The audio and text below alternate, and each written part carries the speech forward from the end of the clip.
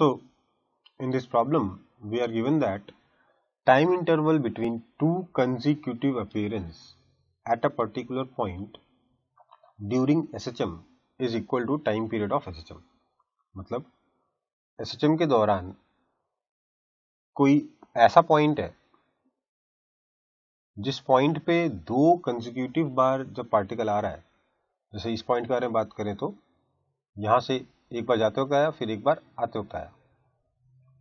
तो इन दोनों टाइम के बीच में, या इन दोनों इवेंट्स के बीच में, जो टाइम इंटरवल है सेम पॉइंट पर दो बार आने के बीच में जो टाइम इंटरवल है that is equal to time period of oscillation आपसे पूछा गया वो पॉइंट कौन सा है?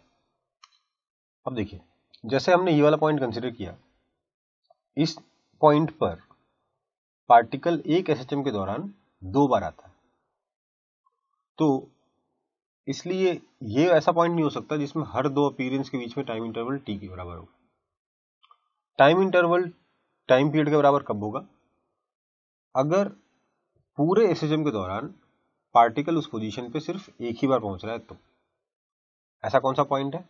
ये वाला पॉइंट पूरे एसएचएम के दौरान पार्टिकल इस पॉइंट पे एक ही बार पहुँच रहा है। ये वाला पॉइंट या फिर ये वाला point that is the extreme point तो एक्सट्रीम पॉइंट्स पे पार्टिकल पूरे सिस्टम के दौरान सिर्फ़ एक बार पहुँचता है।